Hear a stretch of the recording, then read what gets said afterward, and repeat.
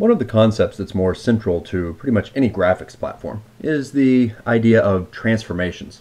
These are mathematical operations that are applied to something, a, a, shape or some aspect of a graphical drawing that alters it in a particular way, generally uh, geometrically.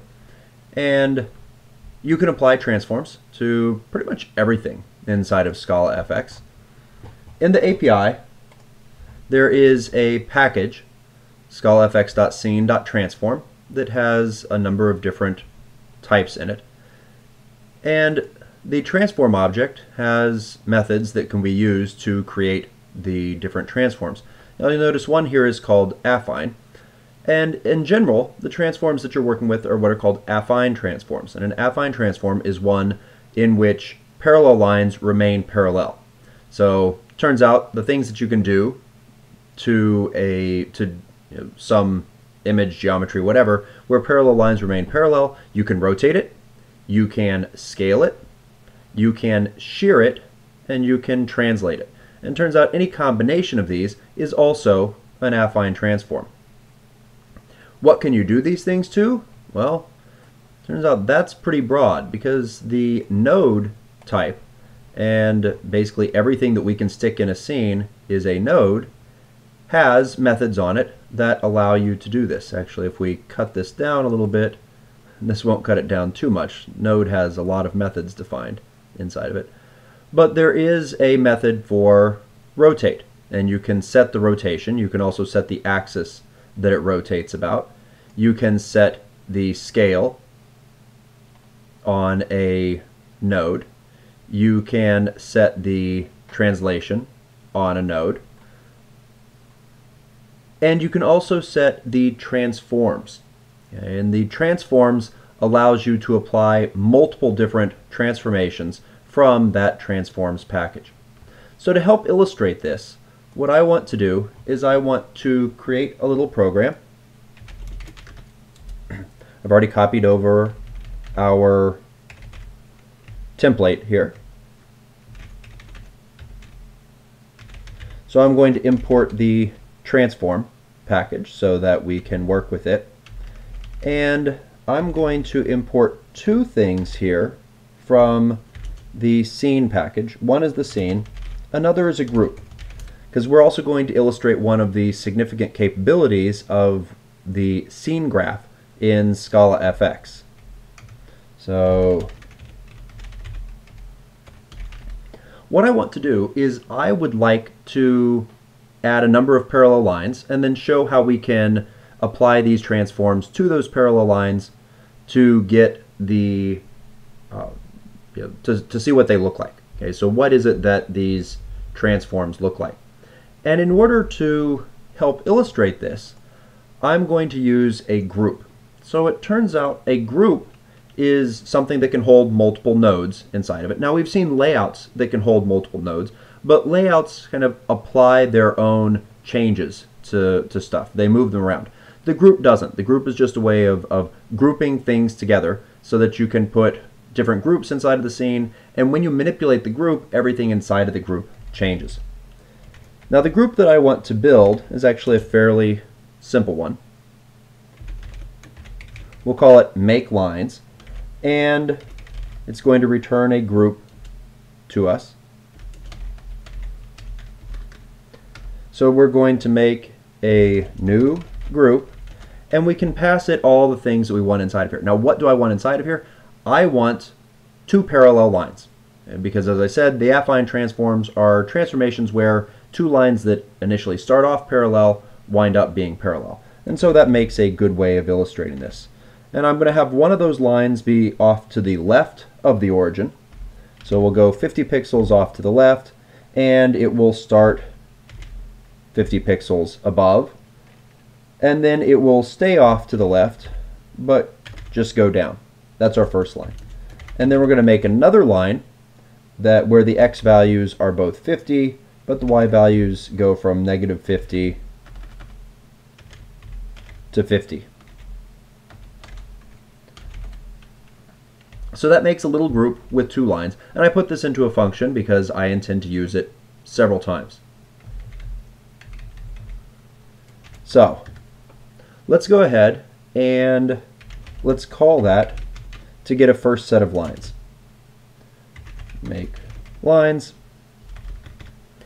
And for the content,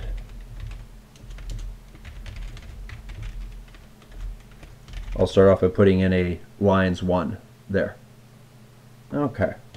At this point I'd like to run this, see if we're happy before we've applied any transform, see if this does what we're expecting it to. Clearly I have, oh, I am missing something in here. Not found, wow. Oh, nope. Maybe I'm not missing something. Maybe I just to, forgot to type in Scala FX.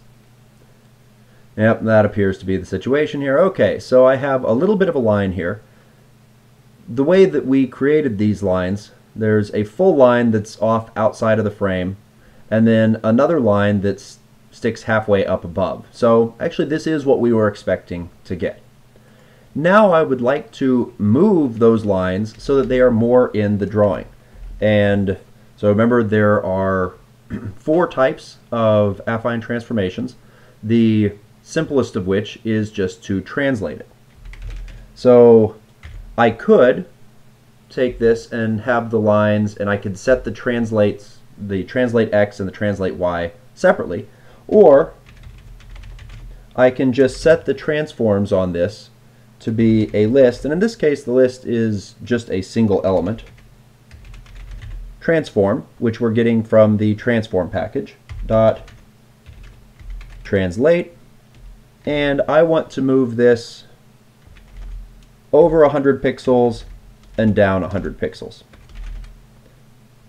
Now if we run it again, I should that needs to be lines 1.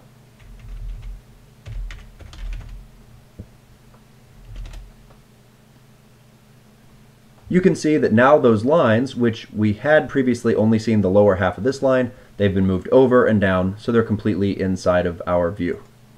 Okay, let's copy those lines and paste them and demonstrate another one of the possible transforms.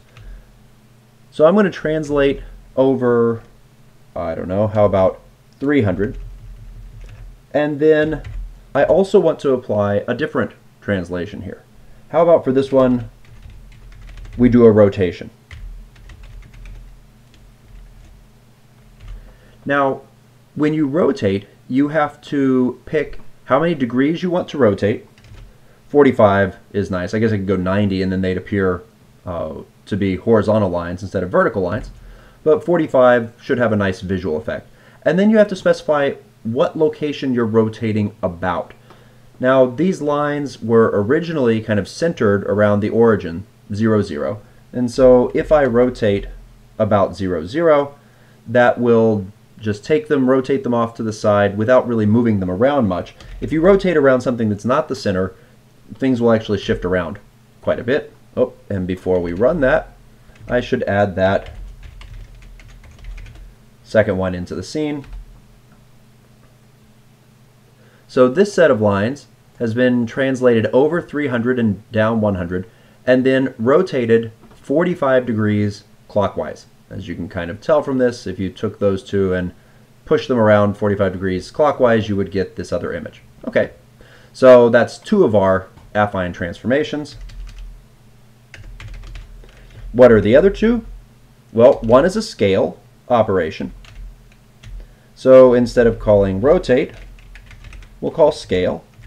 And scale takes two arguments, how much to scale the x and the y. I'm going to make these smaller. So I'm going to scale it down by a factor of 2, so down to a half in both x and y. This will be lines 3. Let's add it into our scene. And I also need to change the translation so that it's in its own location. Run that. It's just like these two, but shrunk down by a factor of two down here. Okay, so that's the scale. So we've done translate. In fact, we've translated all of these. Rotate and scale. And the last one is shear. And shear is probably the one that people find to be the least obvious of the transforms. So I'm going to put this one at 300, 300, and then we're going to do a shear. The shear also takes two values, which is how much to shear in x and how much to shear in y. And these should be fractional values. How about I, I'm going to leave the x at 0.5, which actually is quite a bit of shear, and the y at 0.2. And we'll see what that looks like.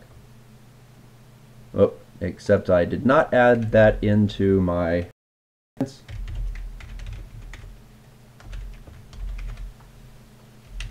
so we run.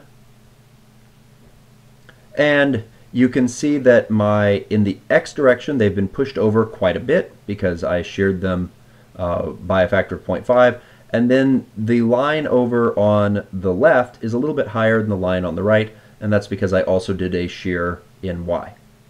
So these are our four affine transformations, and you can make any combination of these. And the thing is, this method, the transforms, as well as the individual methods for rotating and scaling, are available on all nodes. Well, it's a little bit weird. Technically, you could take like your list view and apply some transforms to it. Uh, you could make a list view spin around uh, if you were so inclined. I don't think there's probably a good reason for you to do that in your GUI, but it's something that Scala FX has the capability to do if you should ever find a reason why it's useful in your program.